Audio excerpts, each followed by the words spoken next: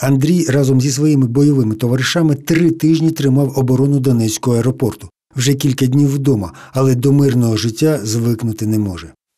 Коли не стріляють, не спиться, бо привик, що стріляють, тоді спиться хорошо. Ходиш, дивишся, да, приємно, все чудесно, люди ходять на роботу, з роботи.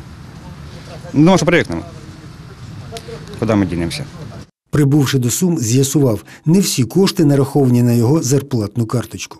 Як нам доповіло командування, наш начальник фінчастини утік нашими коштами. Там близько 5 мільйонів е, наших грошей.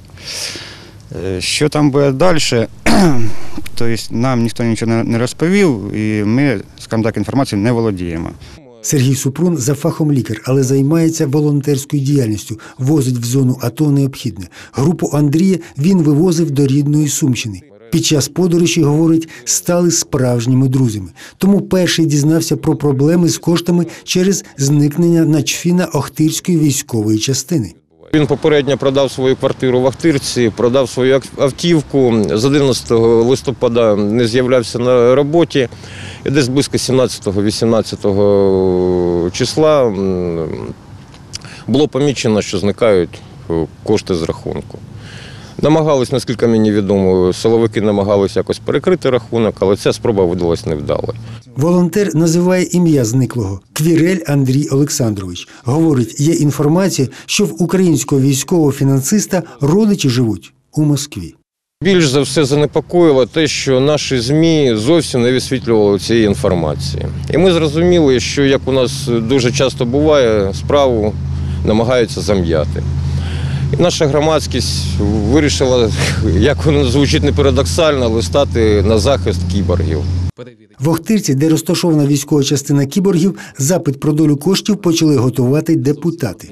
Неофіційно вони підтверджують, що є така проблема, що є задержка по невиплату, невиплаті заробітних плат, невиплаті по преміальних, ну і так далі. Наскільки я володію інформацією, там КРУ працює, е, вроді прокуратура працює в військовій частині.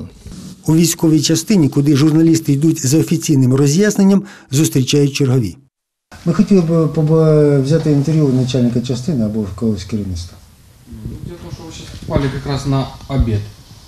Далі що нікого немає, так? Да? 12 часу нікого немає. По обіді повідомляють, у знімальної групи немає акредитації, тому розмови не буде. Тим часом кіборг Андрій подумки повертається до Донецького аеропорту. Ну, з однієї сторони, скажімо так, і не хочеться їхати, а з другої сторони, хто як не ми. Ж. Ігор Стрільцов, Володимир Спасьонов, АТВ.